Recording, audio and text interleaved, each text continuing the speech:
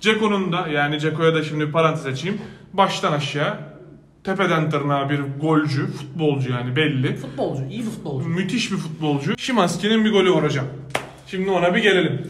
Şimanski'nin golünde Antalya Spor Uyudu. uyuma demiyorum ona. Bir mangal yapma durumu vardı orada. 15 milyon euroluk bir arkadaş var. Marsilya'dan geldi. 35 dakika falan oynadı toplam 3 maçta. Evet.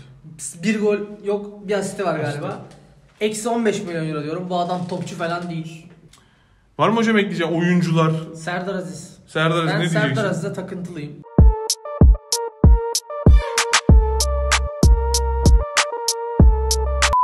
Rovanş kanalının saygıdeğer izleyenleri, hiçbir markanın sunmadığı objektif içeriğimize hepiniz hoş geldiniz.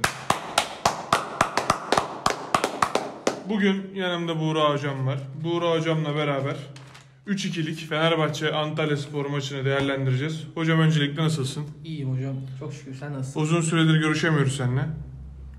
Bir ara verdik. Tekrardan buradayız. Hocam e, Alpay'la değişmedi. Bir gün bir hafta Alpay hocam, bir hafta Buğra hocam. Büyük ihtimalle Avrupa maçında tahminen Alpay hoca olur ama kesin bir şey söylemeyelim. Şimdi Fenerbahçe'ye girmeden önce ben bir açıklama yapacağım buradan. E, farklı farklı mecralarda yani ilk önce şöyle söyleyeyim. Bu bir açıklama videosudur. E, benim konuştuğum Mert Hakan Ceko Reels'ı biliyorsun hocam. Farklı hesaplardan, farklı mecralardan paylaşıldı. Bundan gayet memnunuz. Ancak birkaç yorum okudum onun altında. Bu yorumlardan hani çok ağır küfür olmayanları zaten eleştiriye açık bir kanalız. Ancak e, bu bu kişilere kim yorum yaptırıyor tarzı e, sorular vardı. Bunlara bir cevap vereyim. Bu kanalın kurucusu da hani sahibi de benim. Ben kendime kendi kurduğum kanalda yorum yapma durumuna sahibim. O yüzden hani soranlar bunlara kim yorum yaptırıyor tarzı sorulara cevap olarak kendi kanalımda ben yapıyorum. Eğer işte ekibimizin diğer işte Buğra Hoca'dır, Berat Hoca'dır, Alpay Hoca'dır, Ozil Hoca'dır, Burak Hoca'dır hepsiyle alakalı yine başka hesaplardan paylaşılacak videolarda görürseniz ve sorarsanız onların burada yorum yapmasını da isteyen benim. Bunu da e, meraklılara, sevenlere, eleştirenlere duyuru olarak ben ileteyim. E, hocam Fenerbahçe 3-2'lik maç sendeyiz. Fenerbahçe çok kötü bir 45 dakika başladı. Çok kötü bir oyun. 6 numara ve stoperlere yapılan baskıyla beraber topu çıkartamadı. Topu çıkartamadıktan sonra kaptırıp ilk 5. dakikayla 10. dakika arası bir pres yedi. Orada gol yemedi. Fenerbahçe'nin nadir yıllardan, nadir maçlarından biridir. Belki de yani bu şanssızlığın döndüğü şeylerden biridir. Normalde öyle Fenerbahçe Kadıköy'de ve herhangi bir deplasmanda 5-10 dakikalık sekanslarda uzun baskı yediği zaman gol yer. Oradan temiz çıktı Fenerbahçe. Onun ardına e, Tadic'in Ferdi'nin olduğu kanatta çok kötü bir uyum vardı. Yani yapamadılar aslında orayı. 15 milyon euroluk bir arkadaş var. Marsilya'dan geldi. Hı hı. 35 dakika falan oynadı toplam 3 maçta. Evet. Bir gol yok, bir asisti var galiba. Eksi 15 milyon euro diyorum. Bu adam topçu falan değil. Büyük konuşuyoruz hocam. Topçu falan değil. Peki. EYT'li baldırları var. Hı hı. Sürekli sakatlanıyor. İrfan'ın yükselen bir formu var. Ki İrfan'la niye başlamadı? Eagle onu da bilmiyorum. Eagle mı deriz? Eagle deriz. Peki. Çünkü ilk 45 dakika sadece Eagle derim. Tamam. Budur Fenerbahçe yorumum ama yine kaliteli ayaklarla Ceko'nun çok iyi bir performansı vardı. Hı hı. Bir tane hava topu bırakmadı. Çok iyi bir opsiyon oldu. Gelen toplarda boş döndürmedi arkadaşlarını. İyi paslar verdi. Goldeki asisti çok iyiydi. Golü çok iyiydi. Geçen iki sene önceki Galatasaray maçında Serdar Dursun'un attığı kafa golün aynısını attık. Hı hı. Yine bir Eagle hata. Fenerbahçe'nin oyundan memnun değilim. Skorundan memnunum. Ayrıca dün Livakovic'in yaptığı o iki hatayı goldeki. Yani iki Hata golü- mı diyorsun hocam? E, hata demeyeyim de en azından ikinci gol. Hı hı. Fenerbahçe 6-7 milyon eurosu bir, ara, bir rakam vererek dün Altay yerine o pozisyonlarda Livakovic olsaydı yüksek ihtimal ıslık gelirdi. Hı hı. 6-7 milyon euro vererek iki golde de kalecini düşürmedi. Diyorsun hocam. Fenerbahçe yönetimi 5 yılın sonunda ıslık almamayı öğrenmiştir diye düşünüyorum. Alayım mı sözü? Daha var mı ekleyeceğim bir şey? Çok gayet iyi. Şimdi hocam ben Fenerbahçe maçını pür dikkat izledim diyebilirim. Nuri Şahin'in e, bir Fenerbahçe hazırlıklı çıkacağını tahmin ediyordum ki öyle de oldu. Gole kadar e, Antalya Spor'un üstün olduğu bir maçtı. Ancak dakika 2'de Cengiz Ünder'in hocamın da değindiği gibi Cengiz Ünder'in bir arka adele çekme durumu oldu. Yani benim çok nadir gördüğüm şeylerdi. Dakika 2'de herhangi bir deparın veya sert bir koşunun olmadığı bir yerde çok atarken bir anda arka adelenin atması ya Türkiye maçı artı bu maç e, hazır olmayan bir Cenk Cengiz Ünder'e ağır geldi diyebiliriz ya da yani iyi hazırlanmadı diyebiliriz bu maça ama e, normal gördüğüm gördüğüm işlerden biri değil bu yani arka adelerin çekmesi. Geçmiş olsun buradan da. Sonrasında dakika 30'da e, Adam Buksa'nın yani Antalya Spor için maçın adamı olan Adam Buksa'nın iki stoperin arasından böyle yağ gibi sıyrıldığı bir pozisyonda güzel de bir golcü vuruşuyla 1-0 öne geçti. Şimdi buradan da Serdar Aziz ve Bekao'ya bir sesleneyim. Yani büyük takımlarda artık Fenerbahçe'de de yıllardır bir ağır stoper sorunu var. Adam yağ gibi yani adam Buksa da böyle çakı gibi hıp hızlı bir adam da değil baktığında pivot santrafor.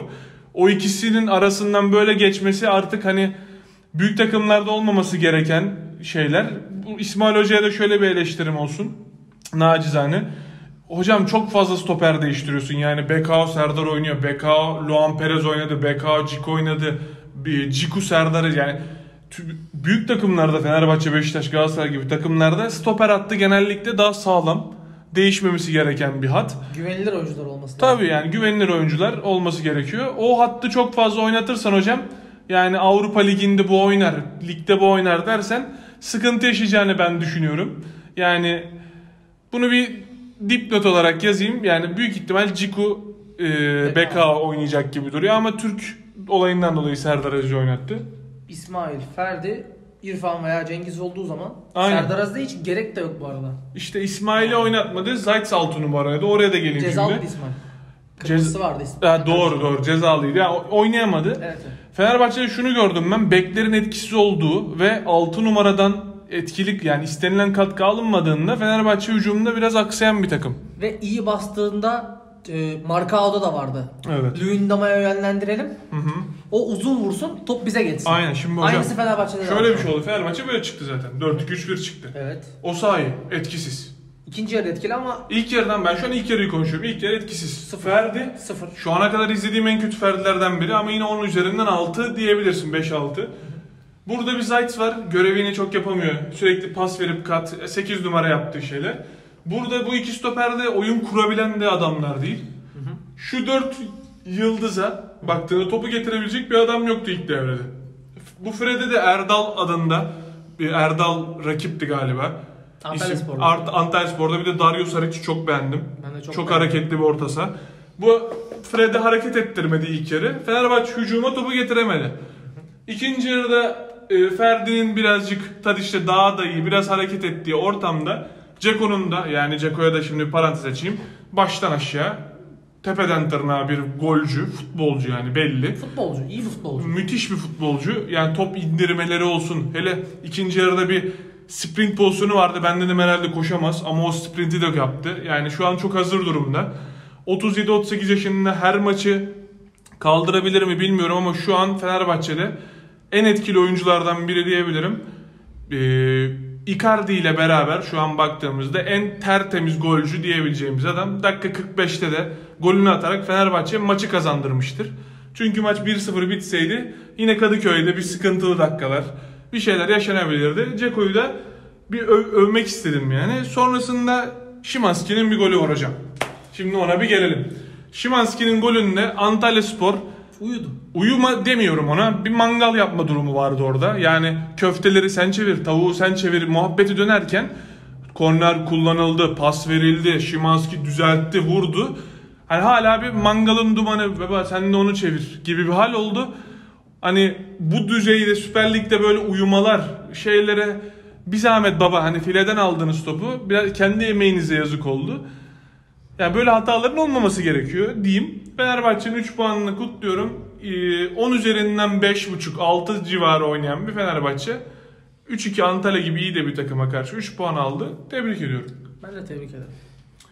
Var mı hocam ekleyeceğim oyuncular? Serdar Aziz. Serdar Aziz ben ne Serdar diyeceksin? Aziz'e takıntılıyım. Ya ben bir stoperin korkak, sert olmaması ve yerini tutmaması gibi şeylerde çok kullanan bir adamım. Hı hı.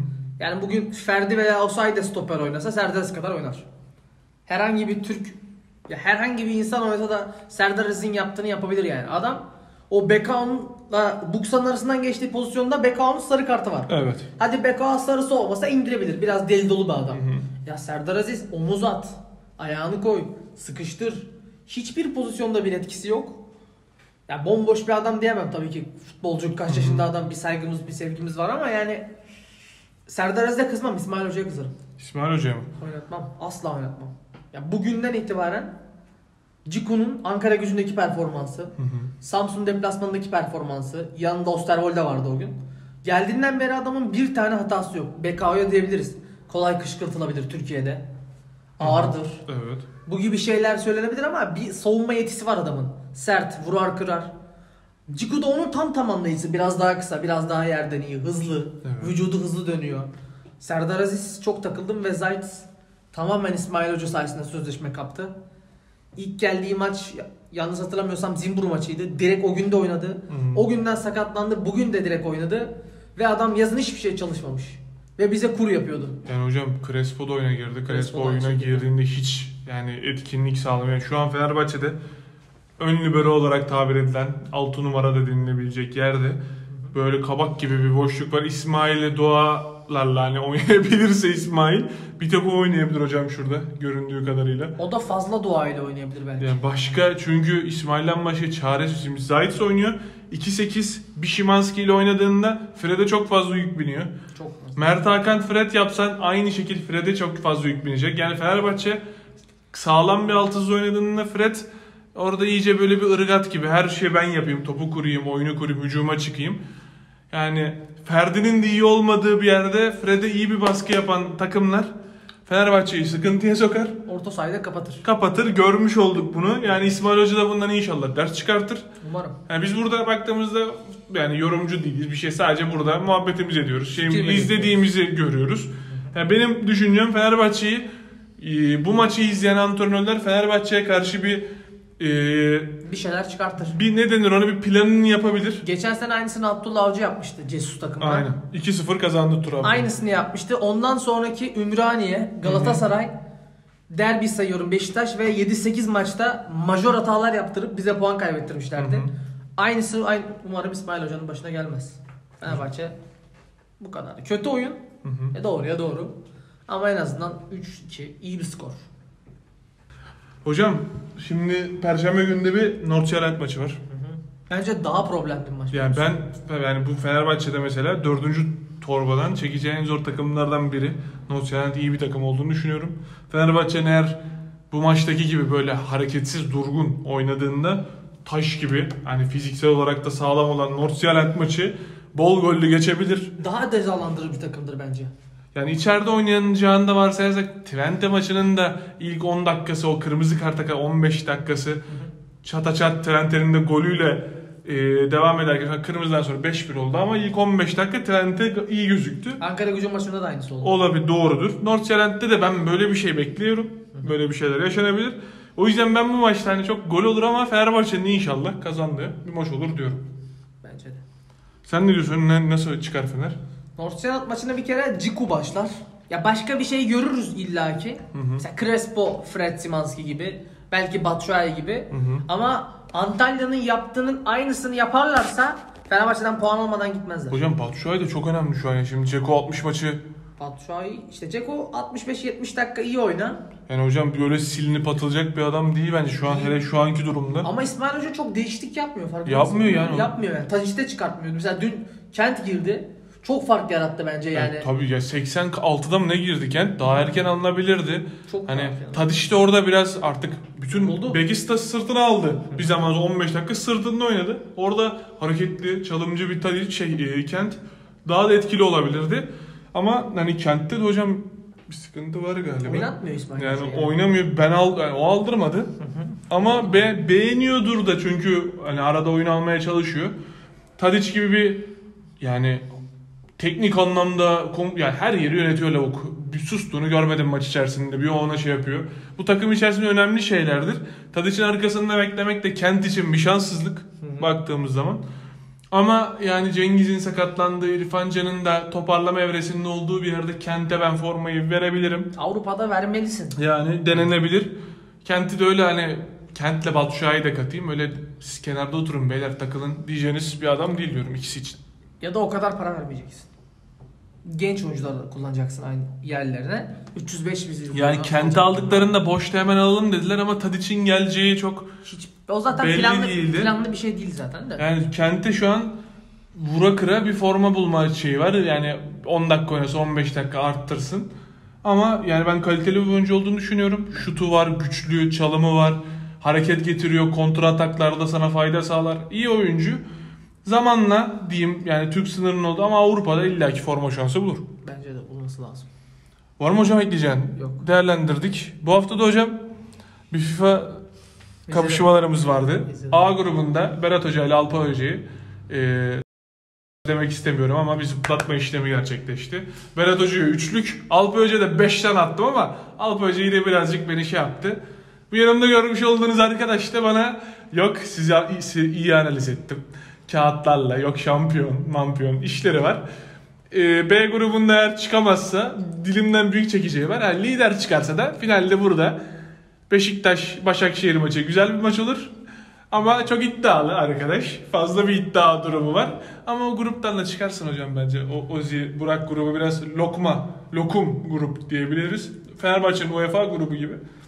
Eğer çıkamazsan yani bana o yazdıkların yok kağıtlı analiz, ba- yok şampiyon bilmem ne bunlar yani rekabeti severim ama yani o gruptan çık hocam. Çalışıyorum, çalışıyorum. Ne diyor kim olur şampiyon?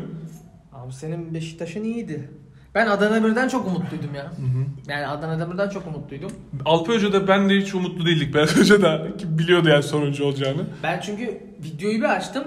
Birinci dakika işte kadroyu yaptı Berat abi.